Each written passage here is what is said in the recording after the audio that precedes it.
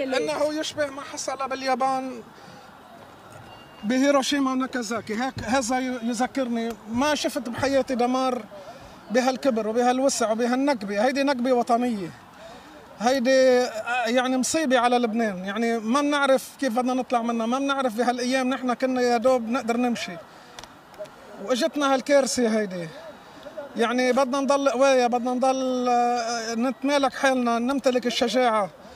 بس كثير هالقد كثير فرد مرة على شعب.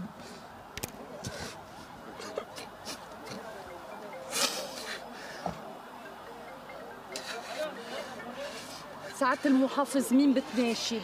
نحن بح... يعني أنتم بطبيعة الحال بحاجة لأي مساعدة الآن؟ بناشد الشعب اللبناني إنه يتماسك.